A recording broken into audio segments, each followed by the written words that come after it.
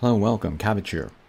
We are back in Dark Souls Remastered. This is a, uh new build, new account, and I'll show off a few bosses that I beat uh, yesterday, I think it was. Uh, but this is a, uh dexterity uh, pyromancer build.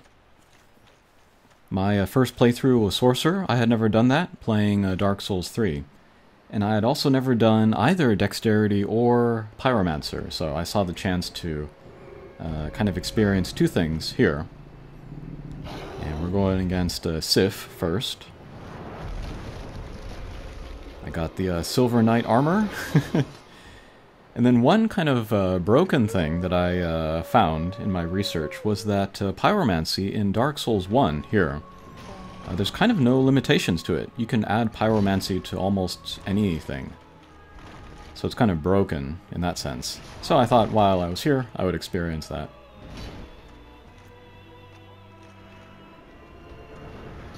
Alright, we'll do the, uh, Poison Cloud, see if that takes. Doesn't look like it. and then uh, the, the Pyromancies that I have chosen for this fight uh, are not very good.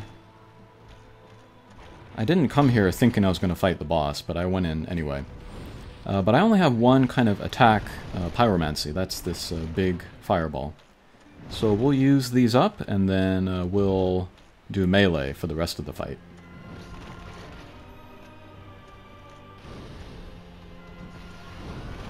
Okay, that took. Okay, that also took. And that took, alright. Uh, so let's switch over to the Uchigatana. I've been liking that.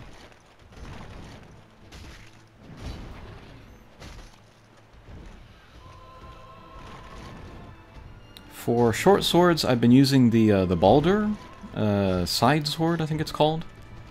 That took some hours of farming to uh, get the drop, but mostly it's been with the uh, Uchigatana. And then I have a couple great swords. I have the uh, Zweihander, and I have the um, the one that the big skeleton guys use. I forget what it's called. But mostly I've been using the uh, the one-handed swords. And uh, upgraded my uh, Pyromancy hand to level 10, and then that unlocked the uh, the Pyromancer down in the uh, what is it in the depths in order to learn the uh, the better Pyromancies. And I went through the Painted World, I got the uh, Pyromancies there. So yeah, it's been fun. Uh, playing the game with Pyromancies is also easy mode. but uh, yeah, I just wanted to see like what they do. Just collect them, try them out, see if they're any fun.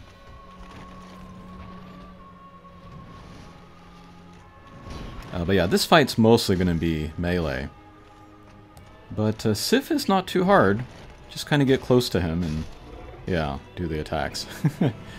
Alright, there he goes. Okay, next let's look at uh, Centipede Demon. And then I already went through and then uh, cut off his tail, got the ring that lets you walk on lava, and then died. So this will be a, uh, later fight.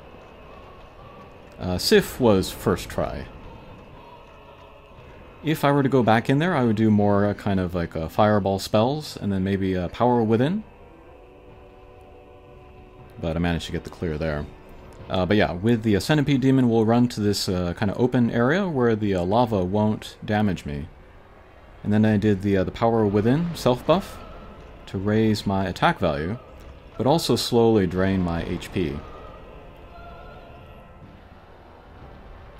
And then that kind of long arm extension attack is probably the most, uh, most threatening. So I should get in closer. yeah, just like with Sif, if we can kind of sit under them, then uh, that makes them less dangerous. Alright, so we're here. We'll attack the legs. Uh, but unlike Sif, this uh, Centipede Demon is going to have some uh, attacks that can hit us very close. Like there's a uh, jump up there. Uh, he's got a stomp. when his HP gets low enough, he will have a, a kind of a AoE sort of pink cloud attack, I think it is. Uh, but yeah, run in, get a couple hits, run out. And then I'm actually not going to target uh, the Centipede Demon. I found it was easier to do uh, without targeting. Or the lock-on, rather. And I still have the uh, the power within self buff. Okay, there's that uh, AoE.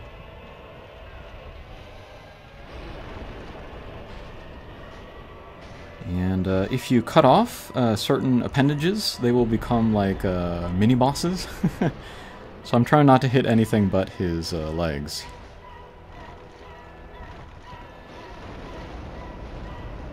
Uh, but yeah, by uh, keeping close to the legs and then running away at the right time, can't really damage us too much. Okay, there goes Centipede Demon. I also beat Bed of Chaos, but that's a bullcrap fight, as I'm sure you're aware. okay, and then I'll show you uh, Ornstein and Ornstein and Smough. I beat this one earlier, but I also showed this off in another video lately, so I'll put it at the end of this video. Uh, but here I'm going to go for uh, taking down Ornstein first with Pyromancies. And then we'll go for the uh, Super Smough in the second part.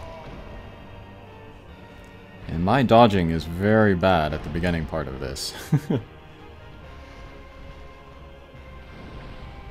okay, but yeah, throw what Pyromancies I have, I eventually run out and then have to uh, do a melee on Ornstein. Uh, we'll skip ahead here. And there goes Ornstein. We'll get the uh, cinematic for the Super Smough, but we'll skip that.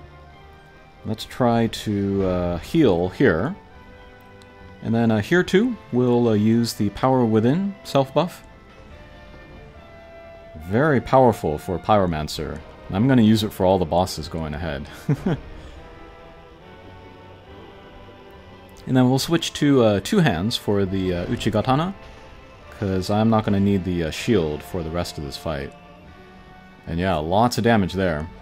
And I think I got uh, bleed damage in there as well. Yeah, we can see that uh, spray of blood. I think that's what that is. Okay, and much quicker uh, clear there. Uh, as compared to my uh, previous one. And that felt good because my uh, first clear of this, the kind of the Super Ornstein sort of froze, and I was able to do free damage on them. This was more of a real clear, so yeah, happy to show this off. Okay, thanks for watching, and we'll see you again. Take care.